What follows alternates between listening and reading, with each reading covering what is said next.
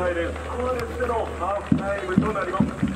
なお前半のアディショナルタイムは3分前半のアディショナルタイムは3分でした。